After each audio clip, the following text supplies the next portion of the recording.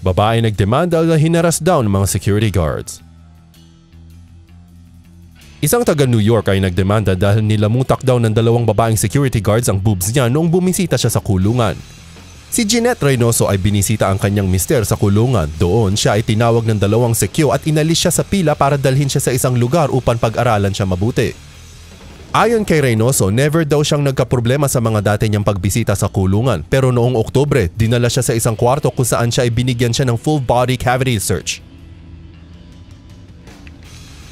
Sinabi ni Reynoso na siya ay hubad na sumandal sa pader at umiyak siya habang siya ay kinapkap ng mga gwardya. Sinabi niya na alam niya na gusto siyang makitang makahubad ng mga sekyo dahil pagkatapos ng search, tinanong nila kung magkano ang breast job niya at kung saan siya nagpagawa. Nung nagreklamo si Reynoso sa pagtrato sa kanya ng mga gwardya, binantaan siya na babawiin nila ang visitation privileges niya sa kulungan.